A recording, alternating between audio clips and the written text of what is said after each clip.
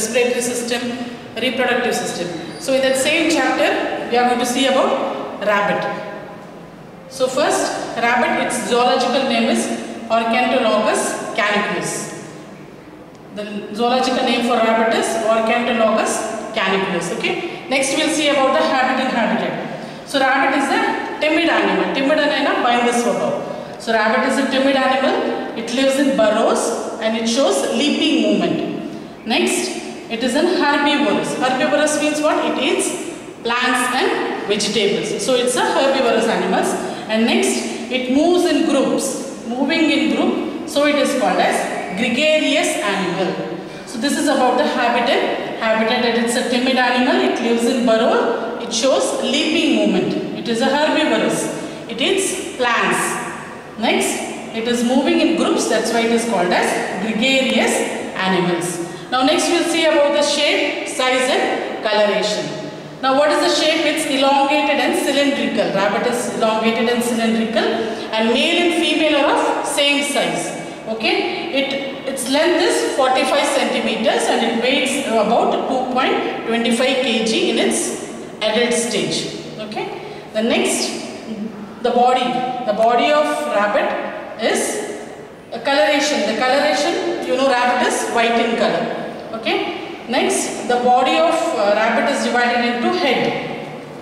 Next is neck, trunk and tail. So the body of rabbit is divided into head, neck, trunk and tail. So first we will see about the head. How is the head? The head is ovoid. The egg is ovoid in shape, isn't it? So the head is ovoid. Now first mouth. How is the mouth? The mouth is having a transverse slit. Mouth is having a transverse lip with upper and lower jaw. Now in the upper jaw what is present? Whiskers are present or vibrissae are present a small hair-like structures for sensation. Okay, then you have a snout present, a snout present, trunk and snout is present. How is it shaped? It's not pointed, it's blunt. Okay, the mouth and the snout is protruding. Then you have nose, nose with two openings. Okay, nostrils, two openings are there. Then eye is present and then what is present? External ears are present which is called as pinnae that is movable ears are present okay? The next you have neck. Neck is the connection between the head and the trunk. And due to this neck what happens? The rabbit can move its head. The next is trunk. Now trunk is divided into anterior abdomen okay anterior thorax sorry anterior thorax and posterior abdomen the trunk is divided into anterior thorax and posterior abdomen then you have thigh region, then you have tail over here. Now, what is present in the anterior abdomen in female? Okay, in the female, what is there? You have 4 to 5 nipples or teeth present. And then anus is near the tail. What is present? Anus is present. Now on the ventral side, in the female, on the ventral side in the female, what is present? Vulva is present near the tail. And in male, what is present? Penis is present. The penis is enclosed inside the scrotal sac. The penis is present. The penis is consisting of testes which are enclosed inside the test, uh, scrotal sac is there. The next you have limbs present. Pentadactyl limbs are there. Penta means what? Five. You have fore limbs and hand limbs. Fore limbs are shorter than the hand limbs. Okay. So this is about the external morphology of rabbit. Now next you are going to see about the body segment. Now body segment is what? Coelomate animals. Okay, coelomate animals means in the previous chapter already I have told you. Coelomate animals are what? The cavity present between the intestinal canal and the body wall. What is coelomate? Coelomate is a body cavity between the intestinal canal and the body way, body wall. Now the body is divided into thoracic cavity and abdominal cavity. And between the thoracic cavity and the abdominal cavity, what is present? A dome-shaped diaphragm is present A dome-shaped diaphragm is present. Okay. Here you will be having the thoracic cavity. Already you have studied, isn't it? ribs are present, false ribs, true ribs, sternum is there. Then you have a dome shaped diaphragm is present. And below you have abdominal cavity. So the upper one is thoracic cavity, below one is abdominal cavity. In between there a transverse diaphragm is present, which is useful for inhalation and exhalation during breathing. Now what is present in the thoracic cavity? In the thoracic cavity you have lungs and heart present, while in the abdominal cavity you have digestive as well as urinogenital system. So this is about the body cavity. So external morphology of rabbit as well as the body cavity. Okay. So next we will see about the digestive. Now next we are going to see the digestive system of rabbit. Now digestive system of rabbit includes what? Alimentary canal as well as associated digestive glands. The digestive system of rabbit consists of alimentary canal and associated digestive glands. Now what parts are there in alimentary canal? In alimentary canal you have what? Mouth. You have buccal cavity, pharynx, esophagus, stomach, small intestine, cecum, large intestine and anus. So as the food enters into the mouth, it passes into the buccal cavity. It has a muscular tongue present. Okay, then the food passes into the esophagus, then it moves to the stomach, then the small intestine, next large intestine. In between the junction of the small intestine and large intestine, you have cecum present. Okay, cecum present is there. Then large intestine has two portions, that is colon and rectum, and then anus. Now, along with this alimentary canal, you have associated digestive glands, which pour their these secretion during the process of digestion. So now what are the associated glands present? Salivary gland, gastric gland, liver, pancreas and intestinal glands. So digestive system consists of what? Alimentary canal as well as associated digestive glands. I will just show you the diagram how digestion takes place, where is cecum present and why cecum is present in digestion of rabbit. So this is the diagram for digestion, digestive system. See here, this is the esophagus. Here esophagus is present. Esophagus is followed by what? Stomach.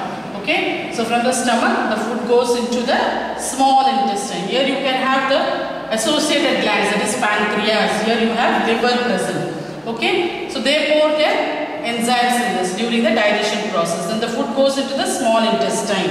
From the small intestine, you have large intestine present that is rectum colon. So in between this junction of this large intestine and small intestine you have a thin walled sac like structure present. This is called as what? Cecum. Okay. And what peculiar character is there that cecum contains bacteria. Many bacteria are present in the cecum. The cecum is a thin walled sac like structure present. Now why this bacteria present over there? the food, what is the food of uh, rabbit? Already told that it eats what? Plants, isn't it? Plants and vegetables. So, the cell wall of plants, the cell wall of plants contains what? The cell wall of plants contains cellulose. So, what does this bacteria do? The bacteria has cellulase present. The cellulase, the bacteria produce an enzyme which is called as cellulase and they break down the walls of the cellulase and then only what happened? Digestion takes place. The bacteria secretes an enzyme which is called as cellulase. In the cell wall of the plant, cellulose is present. Okay. So this bacteria, what do they do? They secrete cellulase so that it breaks down the wall of the cellulose and then digestion takes place. After the food has been digested, it goes into the large intestine. From large intestine, it goes to the colon. Colon. And afterwards, what food is not been digested or what is not needed by the rabbit, the undigested food goes and stores in the rectum and from rectum it goes in through the anus and then it's given out. Okay, so this is the digestion of system of rabbit. After digestion of rabbit, now we'll see the dentation in rabbit. Dentation means what? Teeth. Okay, how is the teeth? The teeth is hard and bone-like structure. Okay, used to what? Cut, tear and grind the food material. Okay. Now, see here. The existence of two set of teeth in the lifespan of an animal. Two set of teeth. Existence of two set of teeth in the lifespan is called as what? Diphodont dentition. Existence of two set of teeth in the lifespan. Dipho. Dipho means what? Two. Okay. So what are the two set of teeth? One is milk teeth and one is permanent teeth. Okay. So milk teeth. When you are young, you have milk teeth. The milk teeth falls down and what teeth do you get? You get permanent teeth. So two set of teeth in the lifespan is called as diphodont dentition. Now after the milk teeth is fallen down, you have permanent teeth, okay. So in rabbit or in mammals, the teeth are of different types. Hence the dentition is called as hetero. Hetero means what? Different. Okay, you should remember the difference between heterodont and diphodont dentition. Dipho means two, so two set of teeth. And hetero means what? Different types. So that is called as heterodont dentition. Now, how, what are the kinds of teeth present? Four kinds of teeth are present in a mammal. What are they? They are incisors, canines, premolar molars. So, these are the four kinds of teeth present. Incisors, canines, premolars and molars. Okay. Now, I have written number, isn't it? 2, 1. So, this 2 represents the upper jaw and 1 represents the lower jaw. So, incisors, how many incisors are present? Two in the upper jaw, one in the lower jaw.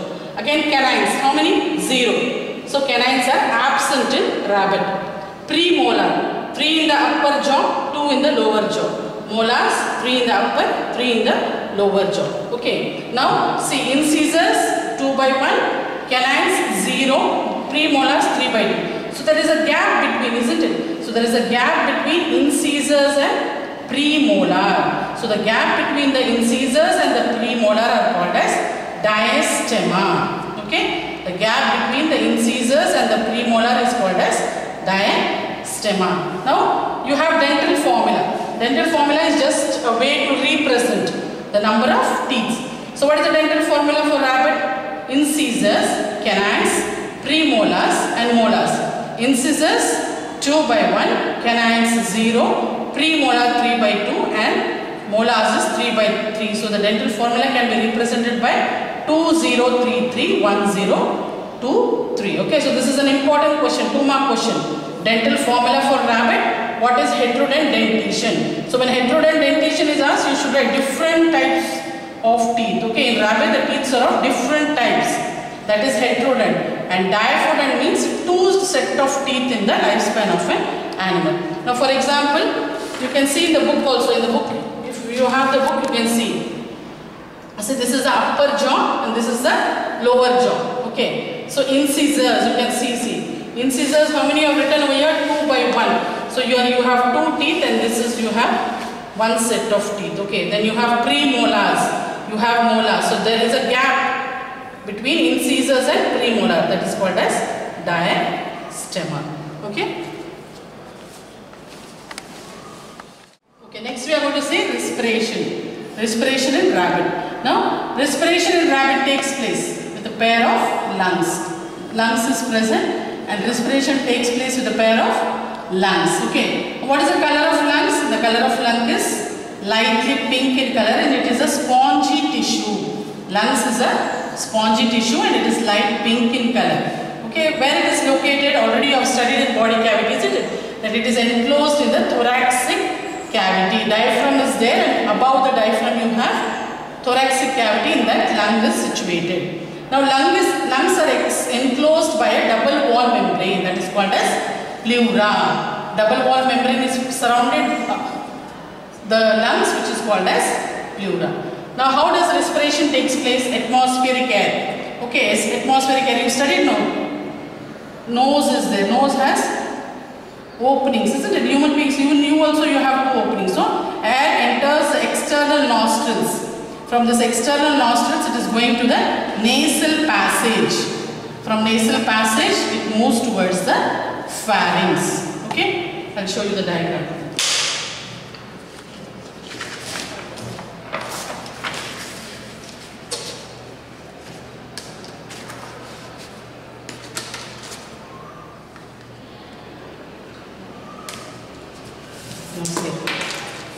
What did we see? Respiration. Okay, lungs. How it is? Spongy tissue. It's lightly pink in color and it is having a double wall membrane which is called as pleura. Okay, double wall membrane which is called as pleura. Now, atmospheric air and comes, it goes into the external nostrils. From nostrils it goes to the nasal passage. From nasal passage, pharynx. And through pharynx it enters into the glottis. Now see this layer you see isn't it? This is called as glottis. From the glottis it enters into the trachea. That is your windpipe. It enters into the trachea that is windpipe. Now above this trachea or windpipe you have a extended portion. The enlarged portion which is called as larynx or it is also called as voice box. Okay. Now this voice, voice box is supported by four cartilaginous plates. Like this cartilaginous plates are present inside this voice box that is larynx. The enlarged portion of the trachea is called as larynx or voice box. In this four cartilaginous plates are present and inside this voice box what is present? Vocal cord. Okay. Vocal cord is present. The vibration of this produces sound. The vibration ஆனப்பிறகு என்ன ஆகுது sound produce ஆகுது அப்போ sound எங்கே produce ஆகுதுன்னா இந்த vocal cord the vocal cord எங்கே இருக்குது it's there in the voice box in the larynx with the help of four cartilaginous plates what happens vibration takes place and then a sound is produced then next what you have trachea this trachea is also made up of rings of cartilages it is made up of rings of cartilages for the free passage of the air. Now, next to this windpipe or this trachea, what is present? One more pipe is present which is called as esophagus. What is also called as foot pipe. It is also called as foot pipe. Next to this trachea only it is present. Now, here you have a flap-like structure present above the glottis. You have a flap-like structure present which is called as epiglottis. Now why this epiglottis is present? Now when you have your food or lunch or breakfast or whatever, okay, by mistake the food should not enter into the trachea and the trachea full of food enter ஆகக்கூடாது what happens this epiglottis closes the flap மாதிரி இருக்கும் அந்த வந்து என்ன ஆகும் close ஆகிடும் அந்த மாதிரி அதனால இந்த ஃபுட் என்ன ஆகாது இந்த ட்ராக்கியாக்குள்ளே என்டர் ஆகாது அது மாதிரி சப்போஸ் என்டர் ஆயிடுச்சு இந்த food enters the trachea what happen உங்களுக்கு புறையிறோமா இல்லையா ಮೂಗುಳಿಯಲ್ಲಿ ಏನು ವಾಯು ಒಳಗಿಂದ ಫುಡ್ ಪಾರ್ಟಿಕಲ್ ಏನೋ ನಾವು ಬೆಲೆ ಒಂದು so this epiglottis prevents here I have written for you the epiglottis what does it do? It prevents the entry of food into the trachea okay so larynx epiglottis glottis larynx trachea. Now the trachea extends into the lungs as bronches okay further this bronches gives rise to many branches which is called as bronchioles which is called as bronchioles. The next this bronchiole gives rise to a small duct which is called as alveolar duct and at the end of this bronchioles what you have? You have small alveoli present. These are what? Alveoli. Now this is the main part because here only what happens? The exchange of gases takes place. You take, you breathe in oxygen, you breathe in air, isn't it? So oxygen is needed, carbon dioxide is not needed. So all the purification of uh, air takes place in here, that is the alveoles. Air enters through all this process from the trachea, it goes to the branches, from branches it goes to the bronchioles and then to the alveoli and here only what happens? The air gets purified. Okay. Now two process takes place that is inspiration expiration. Inspiration is nothing but breathing in and expiration is nothing but breathing out. Okay.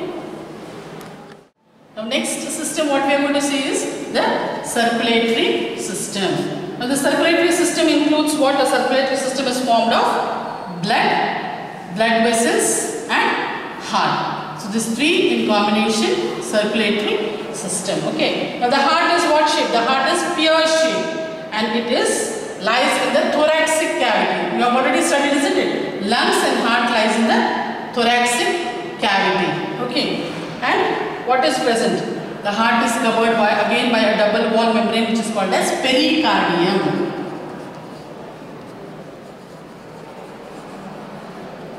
Okay, heart is covered by a double wall membrane which is called as pericardium. Lungs, what you studied? Lungs is pleura and heart is pericardium. Okay, now we will see how the circulation of blood takes place in the rabbit. So, heart is made up of how many chambers? Four chambers.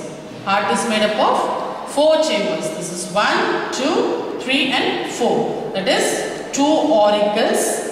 The upper chambers are called as auricles and the lower chambers are called as ventricles. Okay. Now, in between this right auricle and the left auricle, a septum is present. Okay. The blood should not get mixed. So, septum is present which is called as interauricular septum. See here. Right and left auricles are separated by interauricular septum. So, here one septum is present which is called as interauricular septum. Similarly, here right ventricle and left ventricle, one septum is present which is called as interventricular septum. Clear? Interauricular septum, interventricular septum. Now what happens? Here also see a right auricle. Now this right auricle opens. Right auricle opens into the right ventricle. Now how does it opens? It opens by right auricular ventricular septum. So here right auriculoventricular septum is present which is guarded by a valve which is called as tricuspid valve. Okay. Similarly left auricle opens into left ventricle by interauricular ventricular septum which is guarded by a valve which is called as bicuspid valve or mitral valve. Clear? These four chambers and the septums which are present between the chambers. Okay, now see here. Right auricle receives blood. Now this blue color I have shown you, isn't it?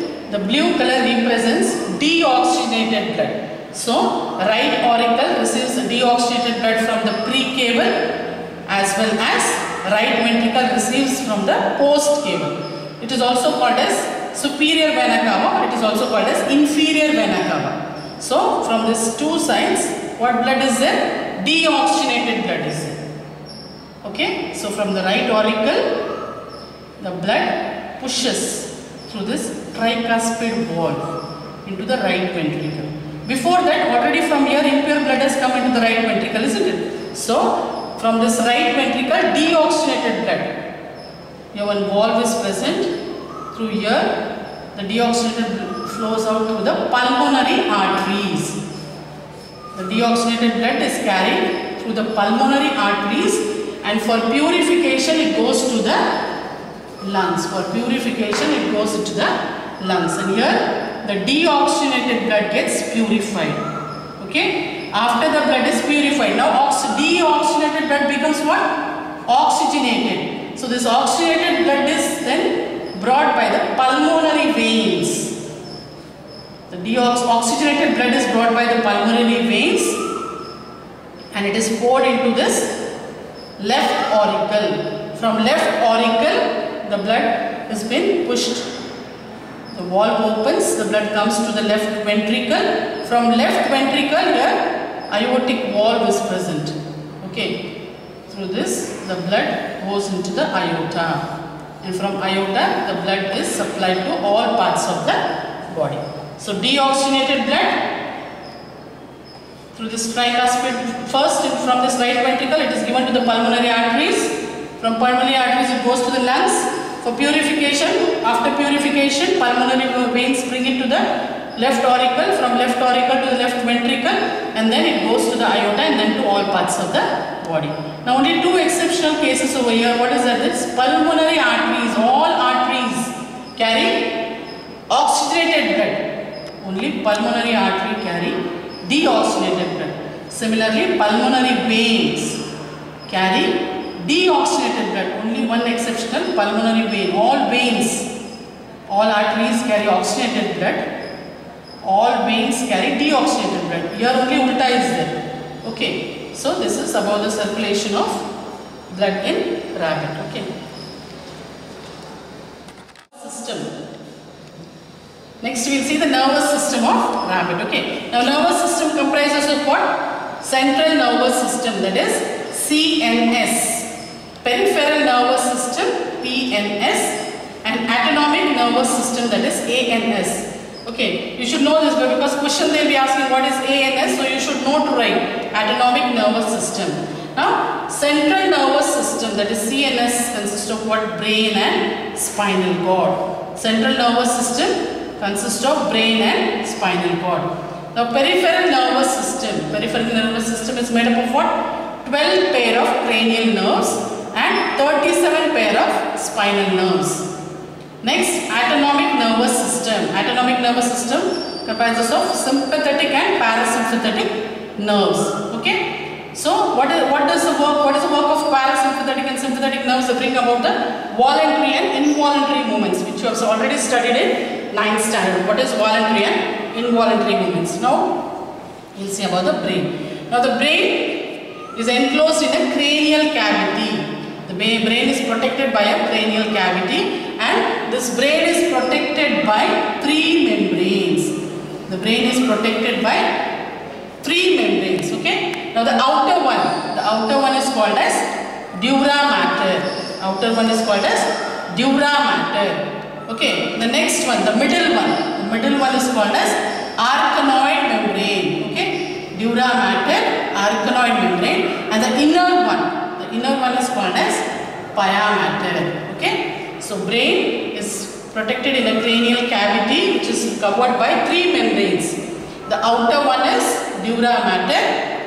The middle one, okay, the middle one is called as arachnoid membrane and the inner one is called as pia mater.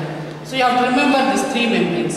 So the brain is divided into forebrain, midbrain and hindbrain. Okay, it is also called as prosencephalon midbrain is called as mesencephalon and hindbrain is called as rhombencephalon. Okay. Now we'll see the structure of brain. Now see. The structure of brain of rabbit, it is made up of what? Two pair of olfactory, pair of olfactory lobes. It is made up pair of olfactory lobes. You have cerebral hemisphere present. You have cerebral hemisphere present and you have diencephalon. So, pair of olfactory lobes cerebral hemisphere and diencephalon this all comprises of what brain? Fore brain. okay? Now this right cerebral hemisphere and left cerebral hemisphere. Okay? They are fused together at a point by a band of nervous tissues which is called as corpus right here callosum. Okay? Now just I'll show you Okay. Now suppose this is your brain. Okay. So this is what right hemisphere and left hemisphere, isn't it? So this right hemisphere and left hemisphere, they are joined together at one point. Okay, that is called as what? Band of by the band of nervous tissue which is called as corpus callosum. Clear everybody? So similarly, the left hemisphere, the right hemisphere, left hemisphere connected at a junction that is the help of band of nervous tissue which is called as corpus callosum. The next you have midbrain. Midbrain optic lobe is present. The midbrain optic lobe is present and then hindbrain comprises of cerebrum, pons and medulla oblongata. So these are the parts of the nerve that is brain. Okay, next chapter in further more detail you will be studying about this as well as the circulatory system as well as brain. Okay. Okay, next we are going to study about the urinogenital system. Now see here, urinogenital system comprises of urinary or excretory system. The urinogenital system comprises of urinary or excretory system and genital and reproductive system. Now see here, half, if you see the half portion what it is? Urino. So, urinary and excretory. The next, genital. So, genital and reproductive system.